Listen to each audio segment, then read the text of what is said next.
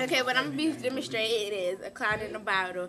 What you need is a bottle and some water that you, you know, heat it up for at least two minutes and some matches. So what I'm gonna do first is that I'm going to light some matches.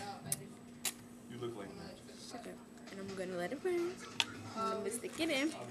Then I'm gonna light another match. She can't light the match. Shut up. And I'm gonna stick it in. And before I cap the bottle, you gotta blow in it. And then to create a cloud, you squeeze the bottle, and then the cloud appears. And then you shake it in. You squeeze it in, and you make the cloud reappear. See, so you know you demonstrate the cloud. In order for you to have the cloud in the bottle, you have to have the dust particles from the matches that you let burn for a minute. And if you don't have matches, you know, I mean, if you yeah, if you didn't like the bad matches, then you know, the cloud is just not gonna work. So I'm gonna show you one more time, and then I'm gonna be done.